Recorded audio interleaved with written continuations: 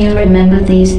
Due to all those brain chemicals we pumped into your, um, brain, you will probably have a difficult time recollecting what makes the green energy pellet special. The green energy pellets are different in that they have a half-life of 3.25428 million years. In other words, their lifetime is longer than yours by 3.25427 million years, or until you remove pressure from the button. The insightful facts, Wikipedia. I was going to let her figure it out on her own.